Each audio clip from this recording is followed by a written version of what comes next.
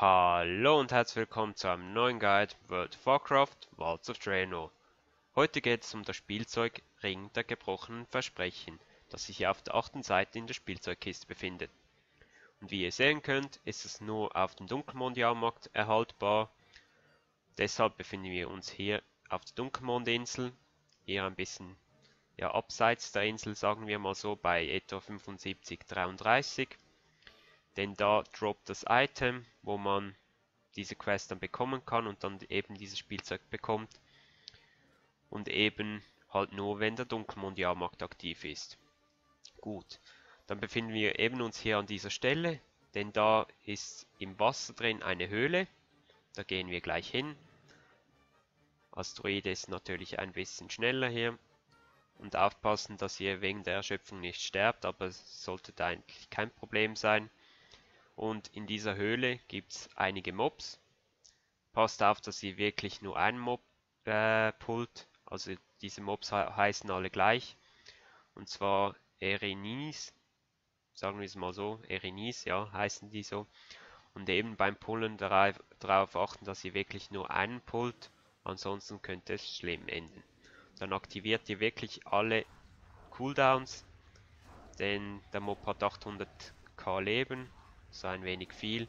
Und wenn ihr das, ja, das Gear noch nicht habt, am besten holt ihr noch irgendeinen Kumpel oder fragt irgendwie im Handelschannel.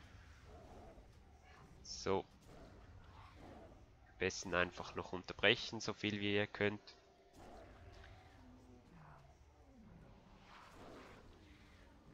So, und dann liegt er irgendwann auch einmal.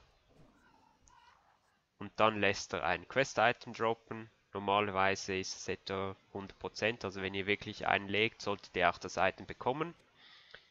Dann aktivieren wir hier mal die Quest. Und dann seht ihr, müssen wir hier hin.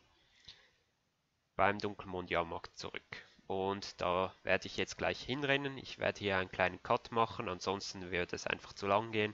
Einfach hier wieder zurücklaufen oder auch äh, zurückporten lassen. Einfach nach OG oder so und dann wieder hineinlaufen. Aber ich werde jetzt hier unten durchlaufen und man sieht sich gleich wieder. So, da sind wir wieder und zwar stehen wir hier bei Chester. Auf der Map ist es hier an diesem Punkt, eben dort, wo man die Quest abgeben muss.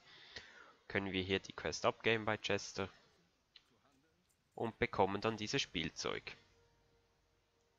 Können wir die aktivieren und ihr seht, äh, dass da das Spielzeug zwei Stunden Abklingzeit hat. Das befindet sich hier eben auf dieser vorhin besagten achten Seite in der Kiste. Können wir hier aktivieren. Mal schauen, was dann passiert. So. Ihr verwandelt euch in einen kleinen, ja, in eine kleine Dämonendame. Habt sozusagen die Rüstung eines Hexenmeisters. So, ein bisschen heranzoomen ja, habe dann etwa 15 Minuten dann diese Verwandlung und danach müsst ihr wieder ein bisschen warten, bis ihr diesen aktivieren könnt. Ja, das war's eigentlich für diesen Guide. Ich hoffe, ihr habt das Spielzeug auch bekommen und wünsche noch viel Spaß. Bis bald.